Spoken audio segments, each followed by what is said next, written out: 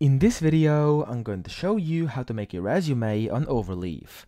Now, of course, there's many ways of doing it. The first one, and probably the most complicated one, would be to just start a new project, enter a blank page or blank project, and start from there. However, if you want to make a resume or a CV quickly, efficiently, and also make it look good without too big of an effort, you can just work from a template.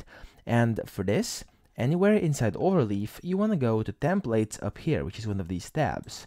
And once you click on it, you don't even have to search for a resume because down here, second row in the middle, there's already resume slash CV. And now, if we click on this, it will give you a whole bunch of uh, pretty much different uh, templates to make a resume slash CV inside of Overleaf. Now, of course, you can pick one that suits you best and then just click on it and work from there. Me, for an example for this video, I'm going to take the first one, which, as you can see over here, you get a few that are selected by Overleaf staff, and it says these templates were handpicked by Overleaf staff for their high quality and positive feedback received from the Overleaf community over the years. Therefore, you can assume that these are actually good CVs and they are worth to be used. Now, I'm going to go with this first one over here, but as I said, you can pick anyone you want. And as soon as you click it, you have many options over here. One of them is open as template. You want to click on it, and just in a few seconds, this will open up as a template for you inside the resume in Overleaf. Now, as you can see, on the left, we've got this uh, kind of the code editor, okay, where the code is, and then on the right, there's the PDF, the one that you can then download, export, and send to whoever you're sending your resume slash CV to. Of course, this one is for Jack Sparrow, okay, but you can, it's meant to be made for yourself, according to your needs and according to your uh, basically things you want to put in here. Now, of course, in order for you to be able to do this, inside Overleaf, you will need some basic LaTeX knowledge, okay?